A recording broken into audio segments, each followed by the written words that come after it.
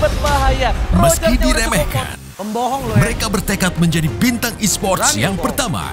Saya kemarin udah dibilang sampah, saya bakal buktiin ke Marsio kalau saya bukan sampah. Ikut-ikutan begini pun juga lu gak didukung sama orang tua. Saksikan eSports Star Indonesia setiap Sabtu jam 7 malam di JTV. Gak ada persiapan sama sekali. takutan mainnya pasif nggak kepake itu it's not good